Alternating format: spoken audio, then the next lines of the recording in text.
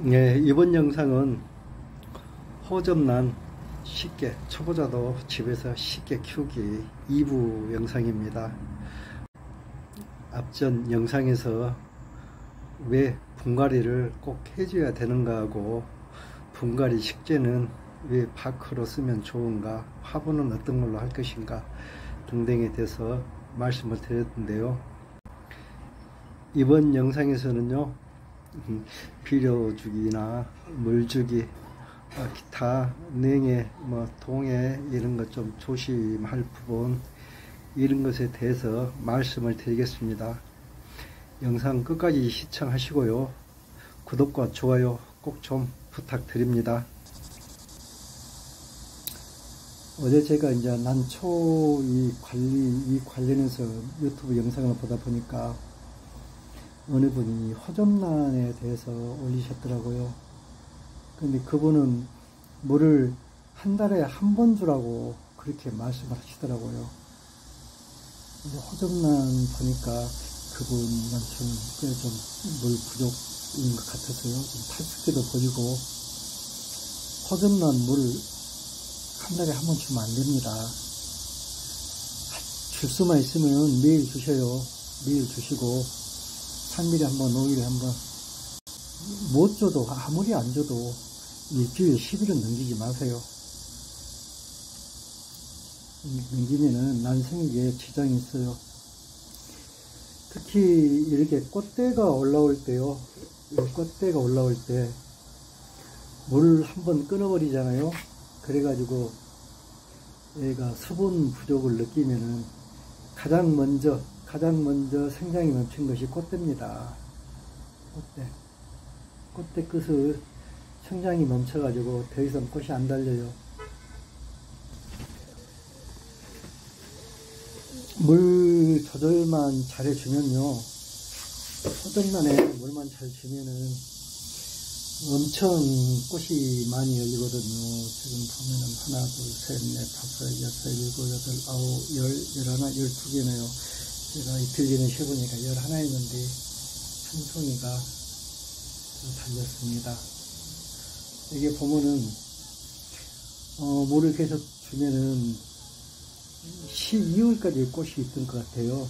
이 꽃 송이는 보면은 8월, 9월 정도까지 계속 나오거든요. 한 25개까지 나온 적도 있었는데 계속 나오고 꽃이 계속 피고 그리고 영양을 충분히 주면은 꽃대에서 이제 가지도 분지가 되어가지고 꽃송이도 더 많이 피거든요.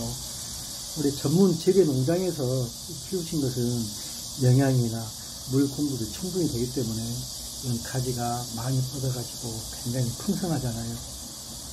풍성합니다. 근데 집에서 키운 것은 이렇게 크게 가지가 뻗질 않아요. 영양이 그만큼 흡족하게 주지 못했다는 건데요.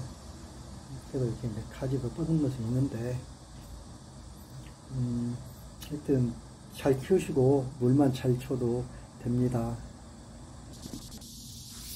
제가 호전란을 지금 이건 한 3년, 4년 정도 키웠고요. 그 전에 한 세 분을 10여 년 정도 키운 세 분이 있었어요. 근데 그 분이 이제 오래돼서 화분들을 버리고 이제 이걸로 다시 키고 있는데요. 호접란은 겨울에도 따뜻해야 됩니다. 겨울에 베란다에도 놔두고 온도가 떨어지면은 이파리들이 쭈글쭈글해요. 그 물내림 현상이라고 해가지고 쭈글쭈글해지는데 이제 더 온도가 내려가면 냉에 통이 있고 이제 이게 죽거든요. 근데 일단 이파리가 쭈글쭈글해지면은 줄 일이 없어요. 물내림 그 좋은 현상 아닙니다. 항상 팩팩하면 좋아요. 근데 제가 한번 겨울에 베란다에 놔두고 깜빡 잊었어요.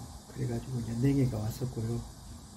그래서 그 다음에 봄에 보니까 이 새잎 넣고 하는 게 상당히 그 부대끼더라고요. 부대껴가지고 잘 생육이 잘 안 됐습니다. 그러시니까 겨울에 충분 넣지 마세요. 거실도 너무 좋습니다. 이제 그렇게 이제 냉해를 입거나 또 물을 너무나 인색하게 주어가지고 이게 이제 수분 스트레스를 받잖아요. 수분 스트레스를 받고 그러면은 제일 먼저 꽃이 꽃대가 시듭니다. 제일 먼저 꽃대가 시들어요. 그 다음에가 세척, 세입이 시들고 마지막에 이제 죽는데요. 수분이 부족했을 때 이제 그 이 구촉, 구촉, 이 잎도 시들은데 수분이 부족하면 이게 말라 떨어져요. 말라 떨어지면은 결국에는 이것이 이쪽만 있고 밑에는 횡하거든요. 쑥 올라와가지고 쑥 올라와가지고 굉장히 보기 싫습니다.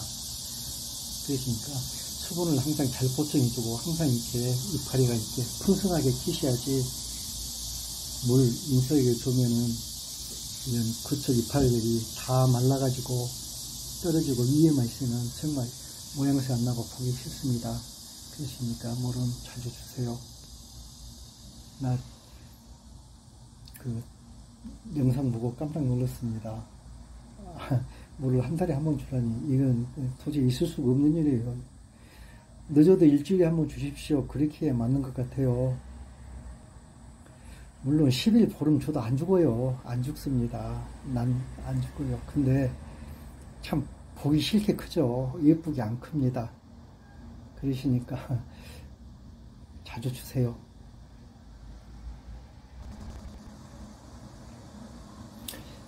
음, 나도 풍란하고 호접란이랄지 음, 그런 것은 물을 굉장히 좋아합니다. 그냥 자주 주시면 되는데요. 이제 풍란 같은 것을 목부작으로 만들어가지고 무시는 작품으로 만드실 분들은 물을 막 주면 안 됩니다.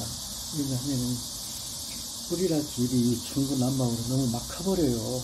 그러면 아기자기하고 멋있는 작품이 안 되니까 그렇게 멋있게 키실 분들은 물 관리를 특별히 하셔야 됩니다. 오늘 뭐 그런 전문가들이야 저보다 잘 아시니까 하실 것이고 제가 오늘 말씀드린 것은 집에서 키우시는 우리 일반인들 이런 초보자들 상대로 말씀드리시니까 그분들 집에서 키실 때는 참고하시고요. 호접란하고 야도풍란, 풍란 같은 건 물주기가 세상에서 가장 쉬워요. 다른 식물들은 많이 줘도 죽고 안 줘서도 죽고 그러는데 이건 그냥 그냥 주시면 됩니다. 그냥 참 쉽죠. 그냥 주시면은